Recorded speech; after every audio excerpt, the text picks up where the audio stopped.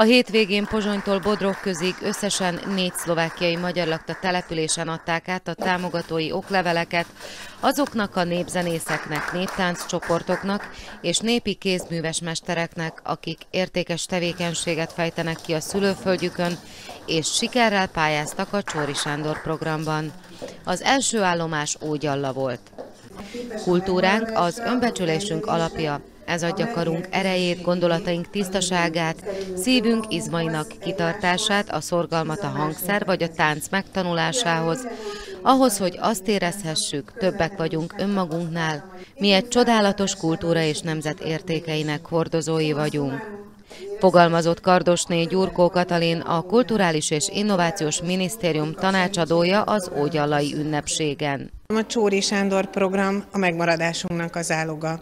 Hozzásegít ahhoz, ami szép, ami szerethető bennünk, a magyar kultúra, a népzene szeretete, hogy mindezt tovább örökítsük a fiataloknak. Gyönyörűen megnyilvánul helyben a hagyományok ápolása, az, hogy generációk tudnak együtt dolgozni, tudnak együtt táncolni, tudnak együtt kézműveskedni, és emellett tényleg megőrizzük a magyarságunkat, a magyar kultúránkat.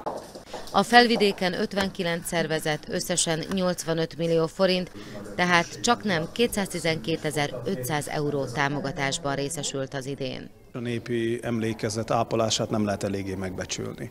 És tartozunk minden népi együttesnek, vagy akár a tárgyi kultúra alkotóinak azzal a megbecsüléssel és azzal az odafigyeléssel, amelyet megérdemelnek, hiszen egy olyan emlékezetet ápolnak, és egy olyan kultúrát, amely a magyar DNS-nek tulajdonképpen a, a sajátja. Amikor a felkérés érkezett, hogy közösen becsülhessük meg a Kulturális és Innovációs Minisztériummal és a Magyar Szövetséggel a hazai kiemelkedő eh, tevékenységeket, akkor nagyon öröm, nagy, nagy, nagy örömmel mondtam igent a, a felkérésre, hiszen ahogy említettem, nem lehet eléggé megbecsülni a munkájukat, és nem lehet eléggé kiemelni azt a közösségépítő tevékenységet, amelyet helyi szinten, legyen itt akár Ógyallán, vagy szerte a felvidéken folytatnak a picik is, és a, és a nagyok is.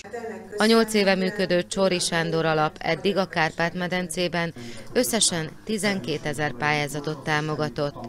2024-ben két és fél milliárd forint értékben 1776 pályázat nyert.